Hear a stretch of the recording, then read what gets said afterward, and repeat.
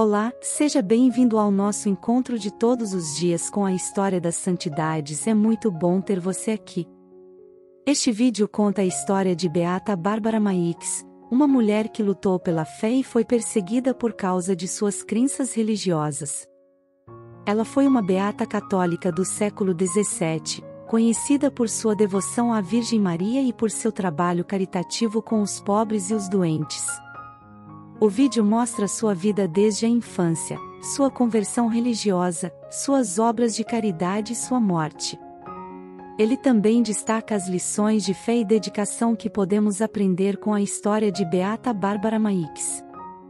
Em respeito à santidade, vamos iniciar com a oração do Pai Nosso.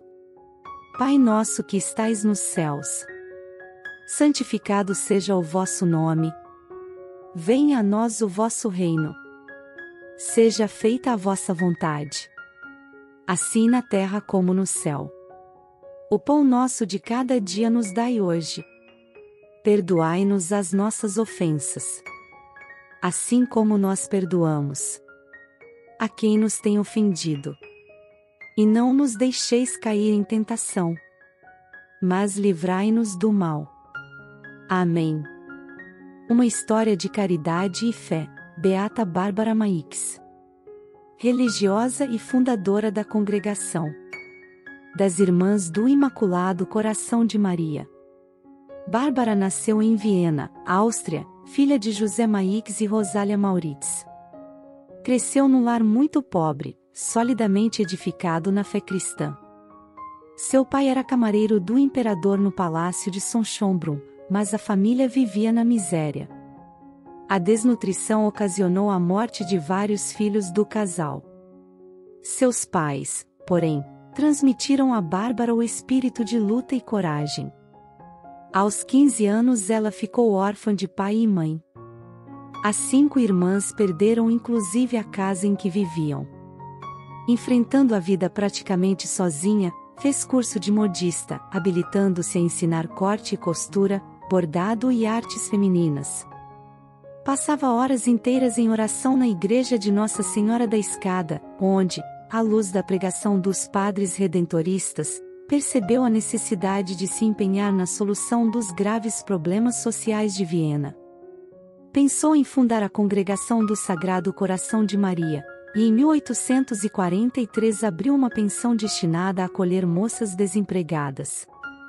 Com Bárbara já estavam reunidas 18 congregadas, sob a orientação espiritual e apoio do padre João Nepomuceno Pouco, redentorista.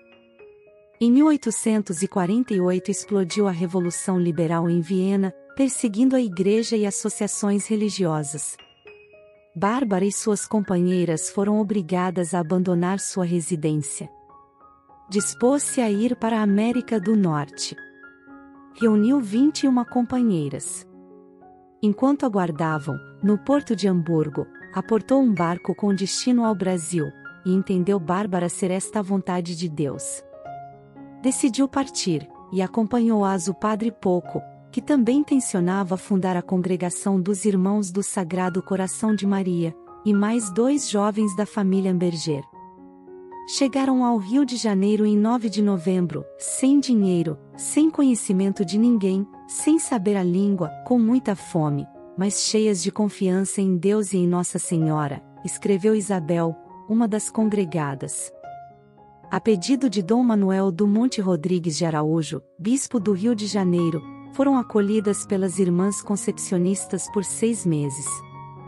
Particularmente, preparavam-se para o dia da vestição religiosa, que ficou marcada para o dia 8 de maio de 1849 emitiram os votos religiosos e ficou ereta, juridicamente, a Congregação do Sagrado Coração de Maria, já com 22 membros. Bárbara recebeu o nome religioso de Maria Bárbara da Santíssima Trindade. Bárbara sentia-se comprometida com os pobres e necessitados. Acolhiam mulheres que procuravam asilo, dedicavam-se à educação das jovens mais abandonadas e cuidavam dos doentes.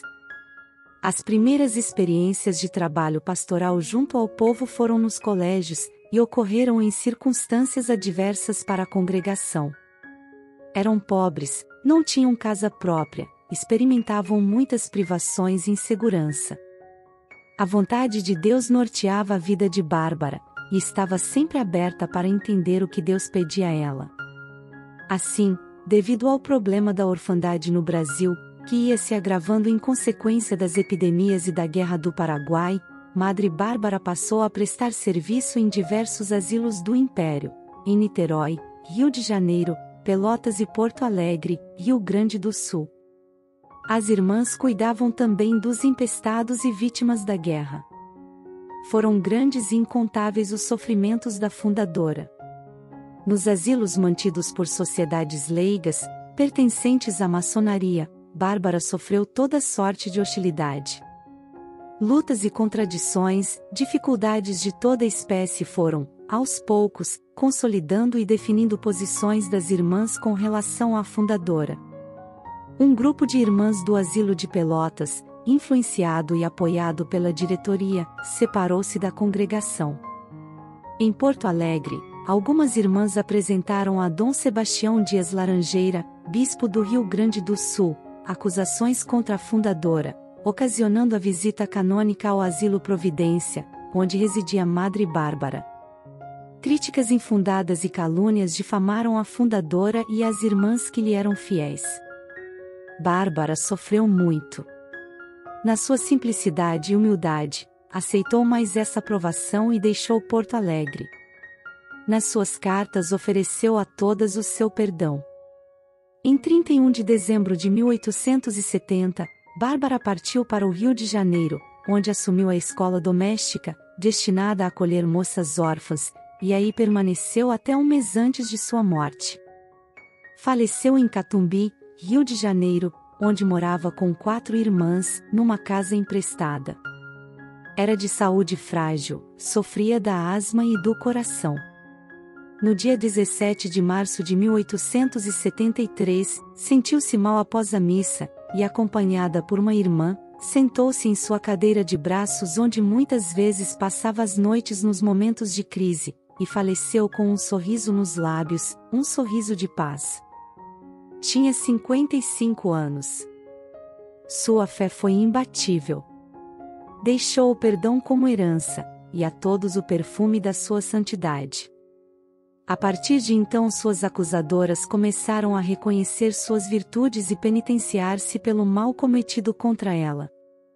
Algum tempo após sua morte foram encontradas entre suas correspondências, as cartas datadas de 1872, e que Madre Jacinta havia escrito às autoridades eclesiásticas e ao imperador contando toda a verdade sobre o acontecido e retratando-se, pedindo perdão à fundadora.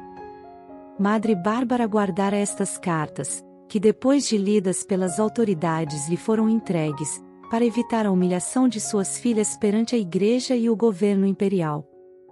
Praticou, heroicamente, todas as virtudes com fidelidade e constância até a morte, buscando sempre e em tudo a vontade de Deus, servindo-se de todos os meios para corresponder-lhe. Era devotíssima da Santíssima Trindade, em cujo nome abençoava as irmãs amava a Eucaristia e passava horas e horas diante do sacrário. A palavra de Deus era todo o seu sustento e alegria. Com grande docilidade deixava-se conduzir pelo Espírito Santo. Seu amor à Mãe de Deus era tal que dedicou a congregação ao seu coração. Desde a infância, nutriu especial devoção ao menino Jesus.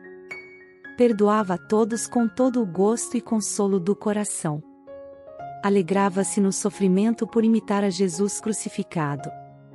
Mostrou-se sempre filha obediente e fiel à Igreja e ao Santo Padre, dócil e reverente aos senhores bispos e sacerdotes. Viveu sua consagração religiosa de modo perfeito e exemplar. Abandonada em Deus, vigiava para não ofender a divina majestade com o mínimo ato de imperfeição. Buscou, incessantemente a Deus e sua glória. Aparentemente sua vida foi um fracasso, mas ela simplesmente imitava Cristo crucificado.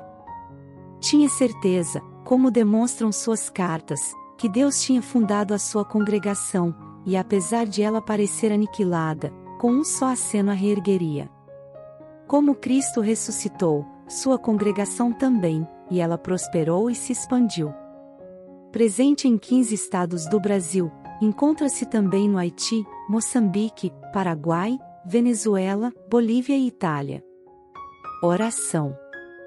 Deus, Pai de bondade e misericórdia, que escolhestes Bárbara Maix para cumprir sempre e em tudo a vossa vontade, especialmente junto aos mais necessitados, concedei-nos, vós que conheceis nossas esperanças e sofrimentos, a graça de que tanto precisamos, pedimos, também, por intermédio do Imaculado Coração de Maria, a beatificação de vossa fiel serva. Amém. Esperamos que você tenha gostado desta história inspiradora de Beata Bárbara Maix. Não se esqueça de se inscrever no nosso canal e ativar as notificações para não perder nenhum de nossos vídeos. E se você gostou, não se esqueça de deixar seu like e compartilhar com seus amigos. Obrigado por assistir.